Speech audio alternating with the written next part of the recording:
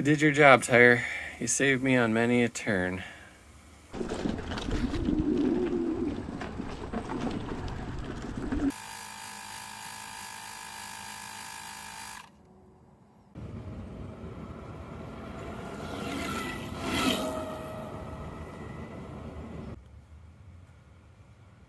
All right, what's up, everyone?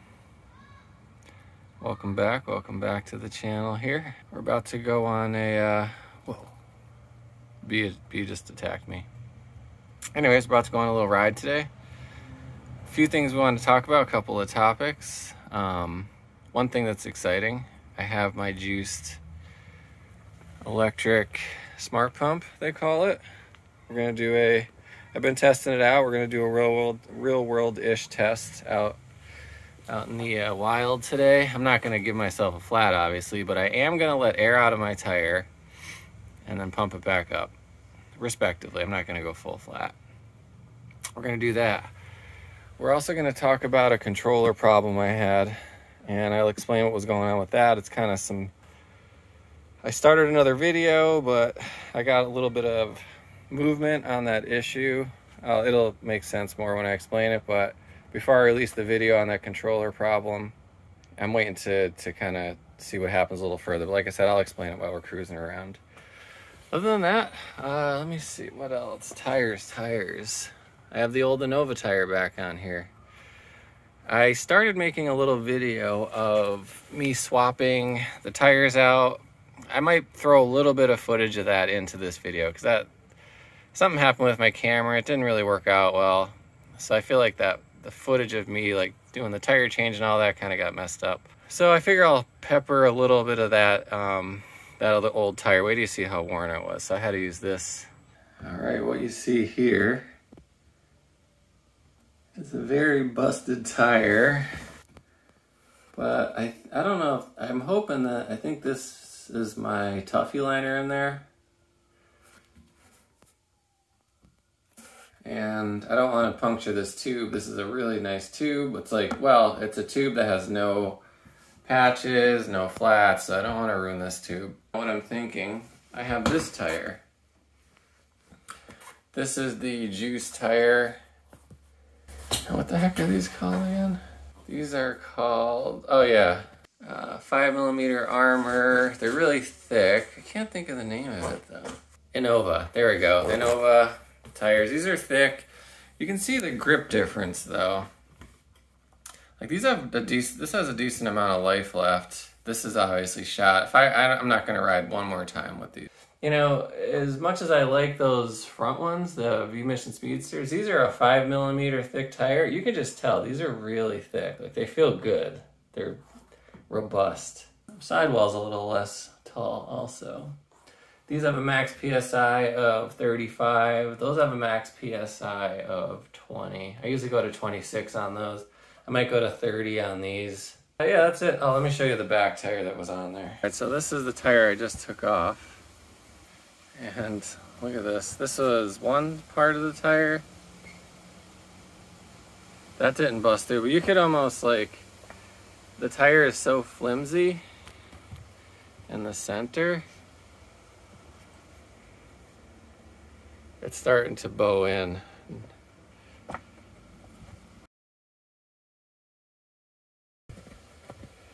God, you can see how this is like paper. It's so flimsy now. So yeah, I feel good. I feel good knowing that I have the um, I have that other tire as a backup. This tire is shot. This is done. That's going right in the garbage. Wow, so flimsy. This is a great tire though. Vee Mission Speedster. You did your job, tire. You saved me on many a turn.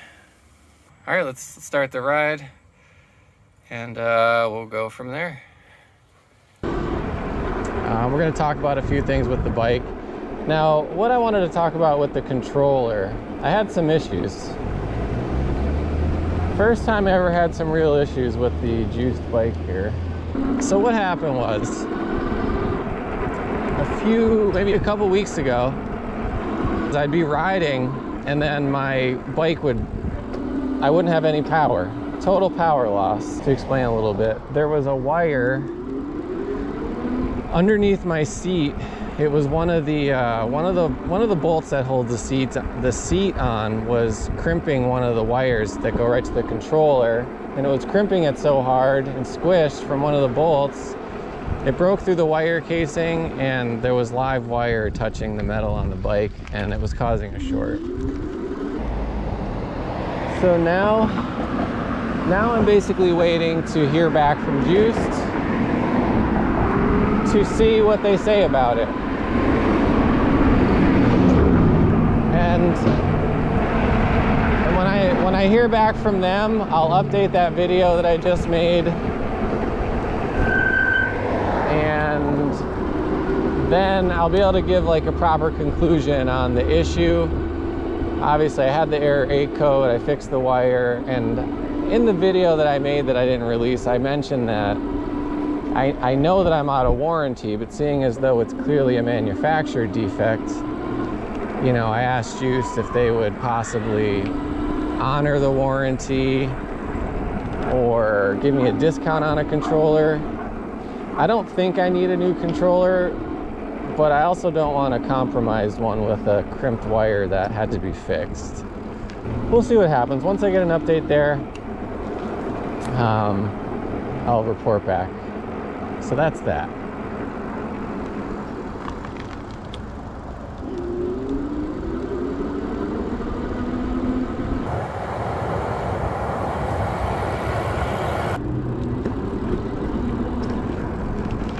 All right, so a little bit of uh, what's the plan? Say, what's the plan here? I gotta stay focused.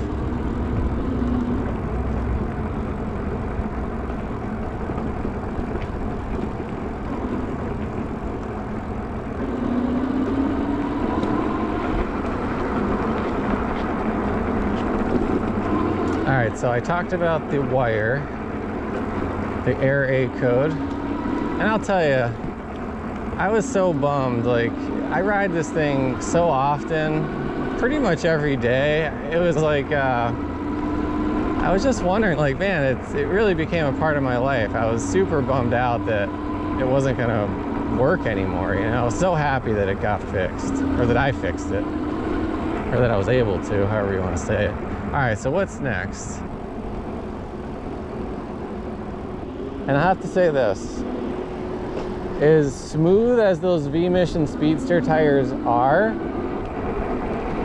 these Innova tires are a lot, they're faster. They're just, the Innova tires are straight up faster. There's like zero resistance. Granted, you do pay because you don't have that grip. But I, I want a thicker tire and I want a tire that has a higher PSI. I just like having that extra air in there. It makes the bike roll smoother. It's less bouncy. It just feels more stable. A couple people were saying I should maybe get a motorcycle tire. So I'm gonna look into that. Maybe there's like a hybrid motorcycle tire that is, uh, it's not a slick style and it's also not the Shinkos, the 244s. Those things are very aggressive for what I need.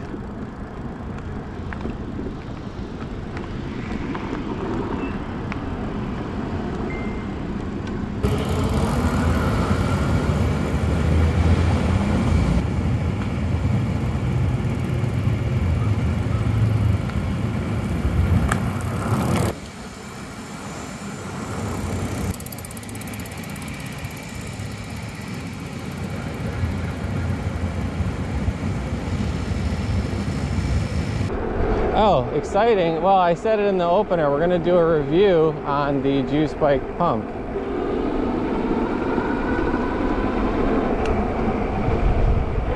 And, you know, for whatever it's worth, spoiler alert, it's awesome. I've been using it all the time on my regular bike. I used it on my, uh, oh, another exciting thing. My two aunts got a e-bikes I can't remember what the name was. It's like Ostero or something. I'll put a photo of them up. We're gonna have a little e-bike posse tomorrow for a little bit, so that'll be a fun video. Tires. Oh yeah, the pump. So yeah, I use the pump on their bikes. The convenience of it is, but once I show you the video, um, you can kind of see some of the features.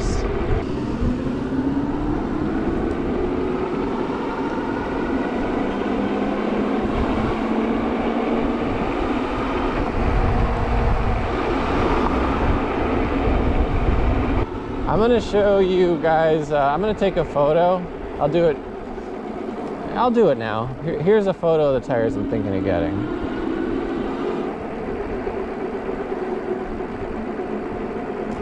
All right, real quick, I'm gonna grab a sandwich in here. It's gonna be sandwich, coffee, then we're gonna go do a review on the pump, and we'll go from there.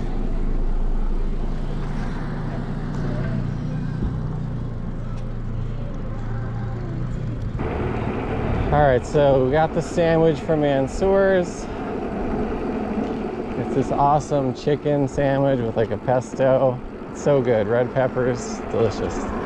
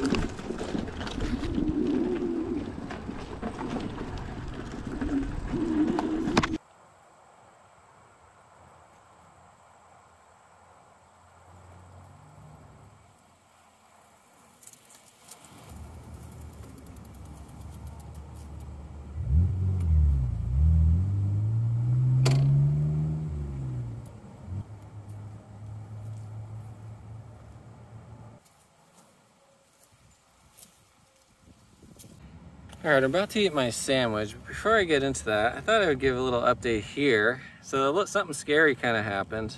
Uh, I was having like weird back brake issues. It, it almost felt like the fluid was, uh, the brake fluid needed to be bled or, or added to it. Because when I would press my back brake, it would seem like my brakes weren't separating from the rotor. Like I would press the brake and then let go, but it was grabbing for a minute longer.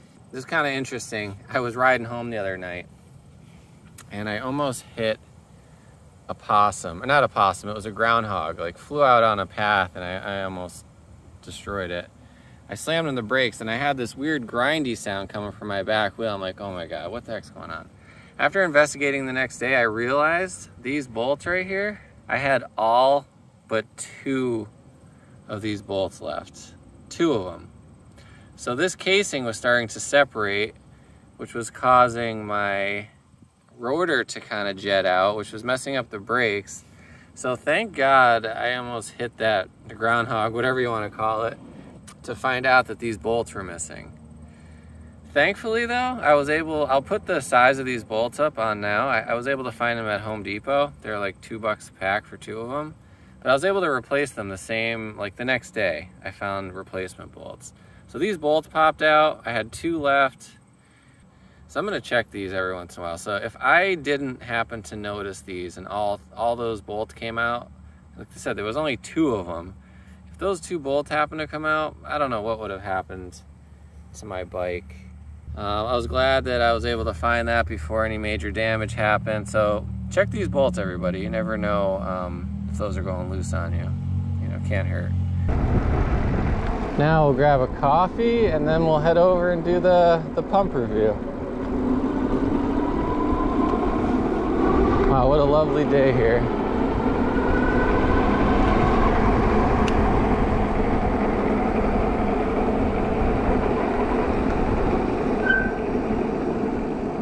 you know, my back brake started squeaking for a couple days after that whole debacle with that hub screws missing and all that other stuff. and I was bummed. So I'm like, man, now I have two squeaky brakes, but the back one stopped. So now it's just back to dealing with the front ones.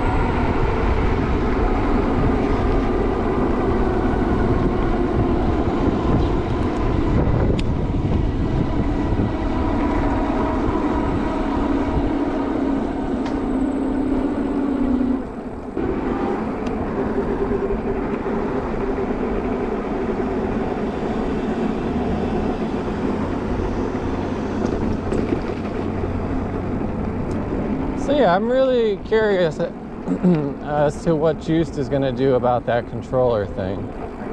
I understand I'm out of warranty, but it was 100% a manufacturer assembly problem.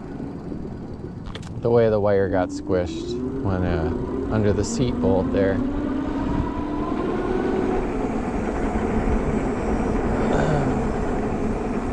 I just hope they don't. The only discrepancy that I can see is if they think I did it, but I never took my seat off. I never got a new seat, never had to take the seat off. I'm sure I would have did a video if I ever took the seat off, or I would have talked about it. You guys have been with me since day one almost. That's my only fear is that they're gonna think I squished it. But I did not. I fixed the squish. I'm a squish fixer. I have no idea what I'm talking about.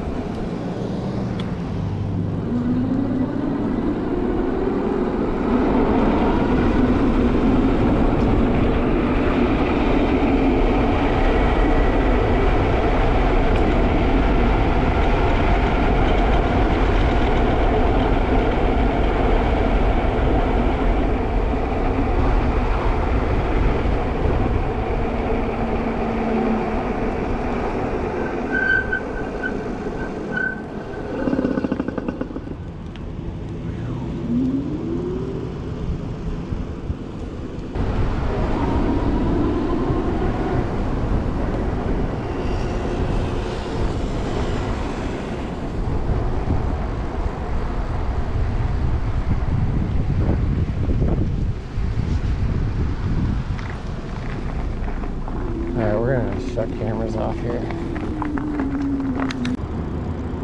Okay, we left the coffee shop. I'm rolling with the drink while I'm riding this. If I make it without spilling the drink, it was a good idea. If I spill my drink, it was a bad idea. So we'll see. I don't have far to go though. It's gonna go a couple blocks up here and then that is where we will do the test on the pump. For you guys, I've, I've been testing it, but I'll show you how it works. Now there's a display on it. A couple things about the display. I think you can see the display at night. Could you? Yeah, I'm pretty sure there's a backlight. So you, you, there's a backlight on the display for night. There's a bleeder valve. You can set the, uh, the PSI. There's other settings, tire pressure settings. I'll, I'll show you.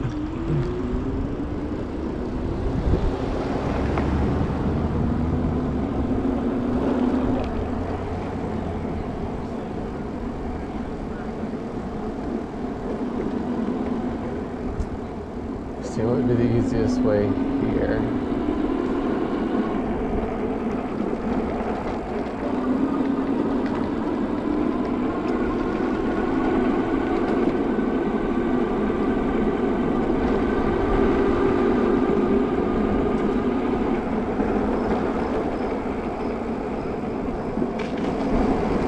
that hill looks pretty good.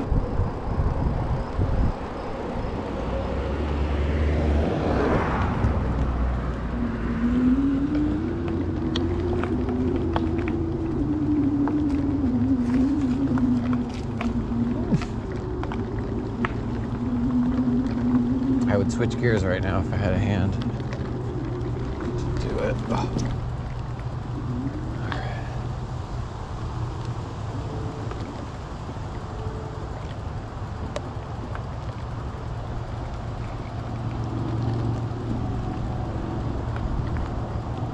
I don't want to scare this guy and his dog, so I'm going to take my time here.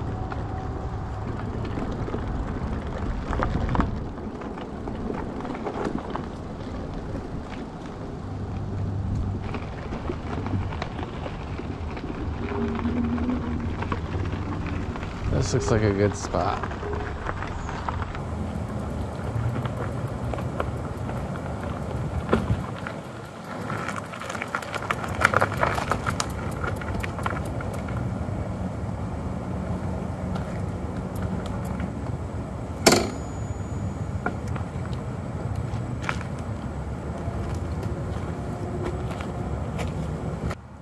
All right, ready to get the uh, pump test on.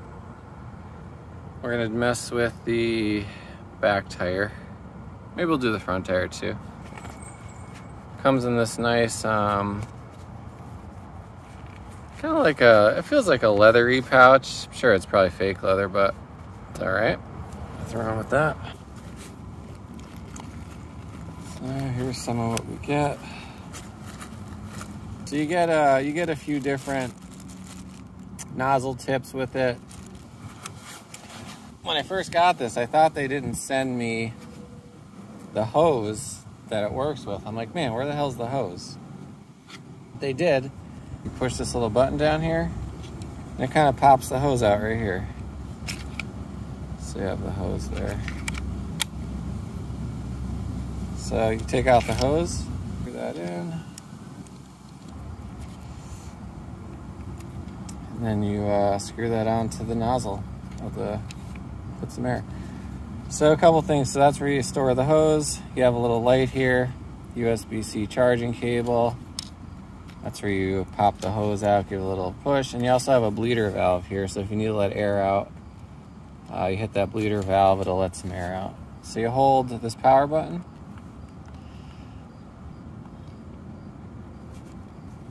Like so. And then if you press the down button, you see how that cycles car, motorcycle, bicycle, you know, like a sports ball of some kind then a custom. So what you do is you set it on what you want. Like, you know, I'm going to set it on, there's the bicycle icon. And then after you do that, you can go backwards or forwards to set what pressure you want. I'm going to do 33 pounds. So I'm pressing back, going to 33.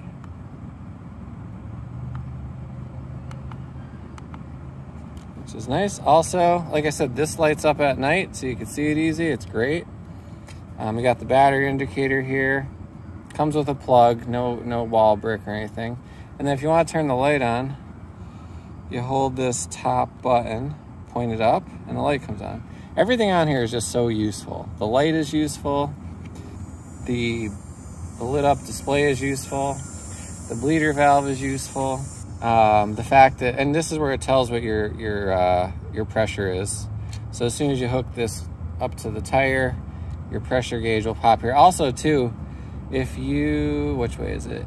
Yeah, if you press up on here instead of holding up, like holding up turns the light on. But if you just tap up, it goes from PSI here, I don't know if you can see it, PSI to, to bar, BAR, KPA, other units of measurement, um, not familiar with, you know, we, I use the PSI here. And uh, so yeah, we set what we want this to. I told you some of the features. Battery life seems to be good. I, I did quite a few tires before this started uh, blinking on me. Uh, I just love this thing. It's not very loud. I probably will have to dull the sound out a little bit. So what I'm gonna do now is I'm going to hook it up to the tire. We'll use the bleeder valve. We'll let some air out just to test it. And then we'll fill it up. So we're now hooking up the pump. You know, until it's snug, you don't have to go crazy with it. You can see I'm at 34 pounds of pressure. So what we're gonna do is use the bleeder valve a little bit, let some air out. See how that works, it's great.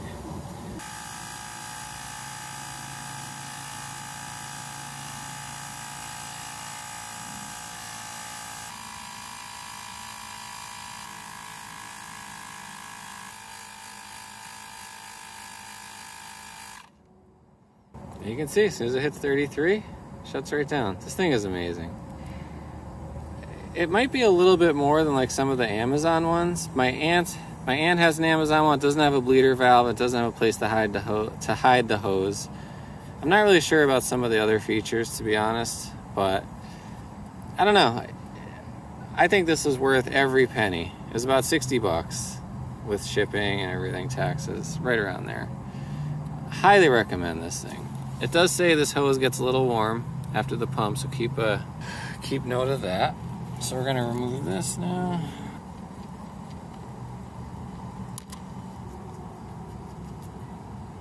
So that is the juice pump. I think it's awesome. Juice sent me a, uh, a, you know, they send you an email after you buy stuff to ask what what you thought. I give this a two thumbs up, a thumb, and then another thumb. I'm holding the camera, so I can't give you two thumbs for real, but know that in my mind, I'm giving another thumbs up. This thing is great, highly recommended, and the color is kind of cool. I like the red. So uh, let's get back on the ride. Hope you like that mini review, and all right, off we go.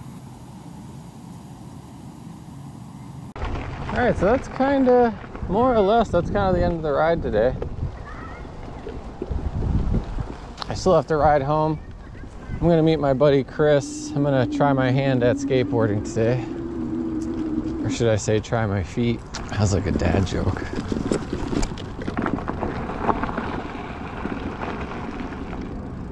So I'm not gonna, I don't know, maybe, I don't know how much more chat I'm gonna do. I feel like I've been chatting this whole ride.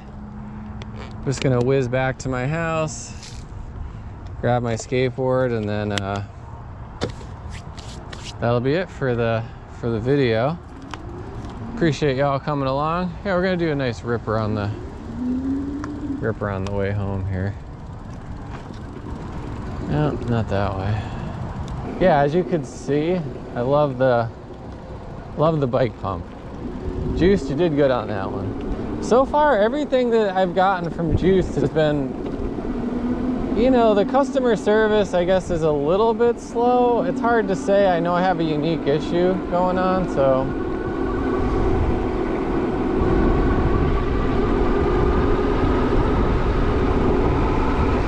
Like, I'm out of warranty and my bike. I, I'm out of warranty and I was able to fix my bike. So maybe because I'm not stressing, it's I don't care as much.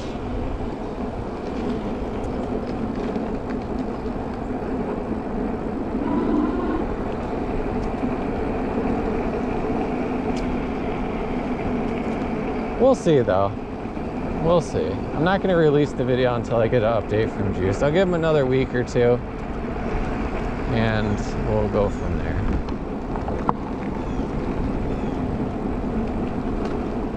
So you know what was happening because I, in, a, in a couple of videos ago I mentioned I had somebody on my like I was had a passenger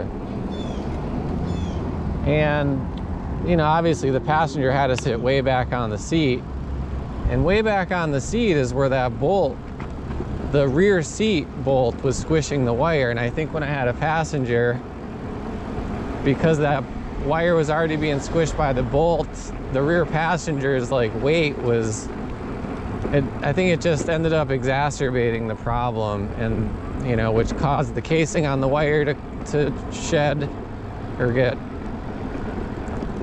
uh, what the hell word am I looking for? Shed? Shedded. That doesn't make any sense.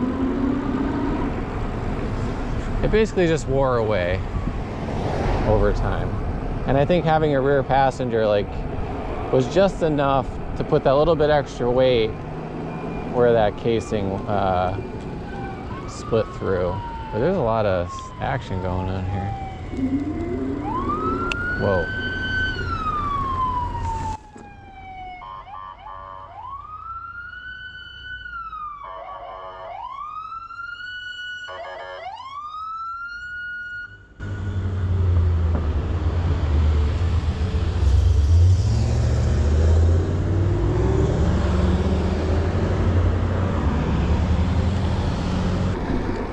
If somebody that wasn't, uh, you know, I'm not saying I'm Mr. Mechanic and I know everything, but I am a little bit savvy when it comes to fixing things.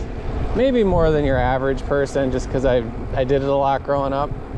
But if somebody didn't really know how to fix bikes and that happened, I can see that being quite a big deal. Like if they didn't know how to take the seat off, how to look at the controller, and I found that I found that uh, that squish wire pretty quick. I tried a couple other little things to fix it, and I thought I fixed it. Um, but I'll show you in that. It's all in that video that I made about the wire. Once that comes out, you'll understand. I just don't want to have to, not have to repeat myself, but this way you won't be hearing the same thing twice. So I figure I give you a little overview of it, and then you can see the video.